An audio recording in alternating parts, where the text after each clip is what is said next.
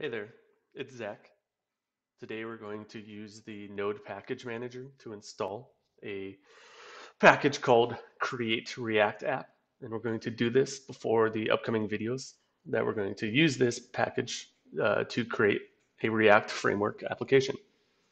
So uh, just to verify that we do have uh, Node Package Manager installed, we will go to our git bash, do npm-s version and so we do.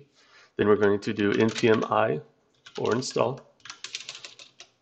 Then global with a dash g or dash global. Then create React app. So this is going to install the create React app package on a global scale.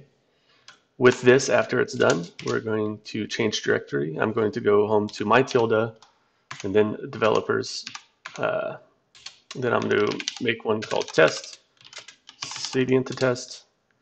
Then I'm going to use this by doing create React app, followed by the name of the app, in which I'm going to cover in the next video. Um, but just for now, just as a sanity test to make sure that this package is working, I'm going to create one called Zach app. And we can see that the package uh, did install correctly. And at this point, looks like it's actually creating this uh, framework and template correctly.